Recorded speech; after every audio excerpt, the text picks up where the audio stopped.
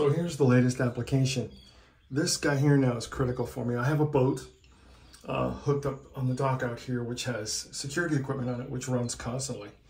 Uh, it's 12 volt and it has to be connected to the 12 volt battery, of course, so that uh, if the boat is taken, it's constantly feeding a signal as to where it is and all the other things it supplies. So I need to keep it plugged into shore power while it's here so that the batteries, because I've got to run my batteries this way, I can run my battery charger and keep the boat batteries at a nice level.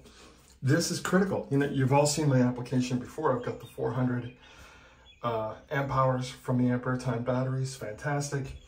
2000 watt inverter and all the Victron equipment, but this transfer switch now allows me, it's being fed uh, through this 15 amp coming in from the house, and then it's also going out and feeding the boat.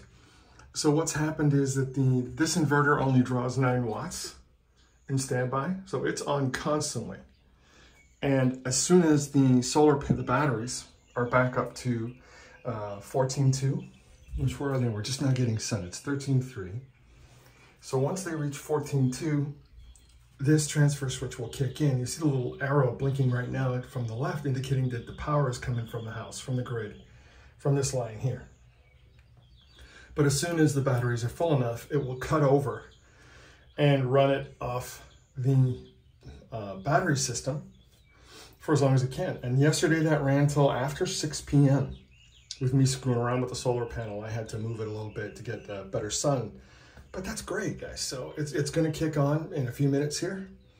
Um, and then this will run the boat, keep the batteries topped off, run the boat charger all day until um, the sun goes down. Or, and then after that, once the batteries have finally dropped down to, I'm cutting them off at 13.4, which is well above their threshold. But um, I think that's at like 80%. But um, I don't really have a desire to run them all the way down at current.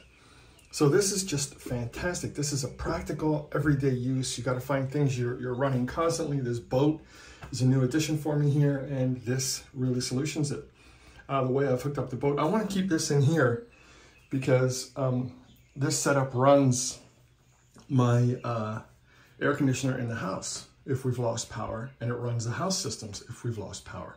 So I've not really got a desire to take all this and put it on the boat at the moment. And this way, by using this, uh, just got a, a construction 15 amp cord, and now that runs down to the dock, and the shore power adapter for the boat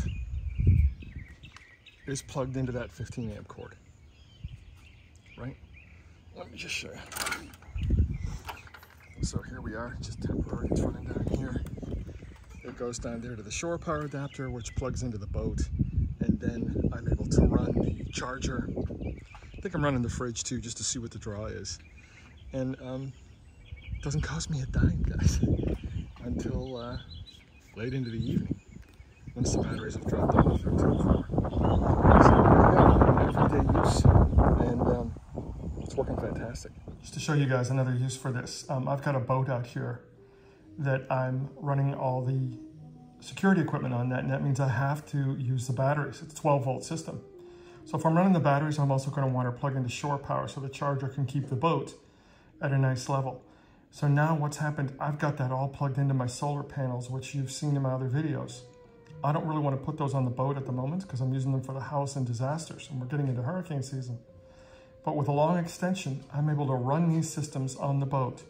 The boat right now is drawing 87 watts and the solar panels are running it. But the transfer switch is also installed. And so as soon as the battery power goes down to 13.1, which is 30%, the transfer switch cuts back to the house. This is perfect installation because I always want the boat to have power. But for most of the day, until four o'clock in the afternoon, I don't know if you can see that clock up there. Um, yeah, right there, 350. And later, we're still drawing 110 watts.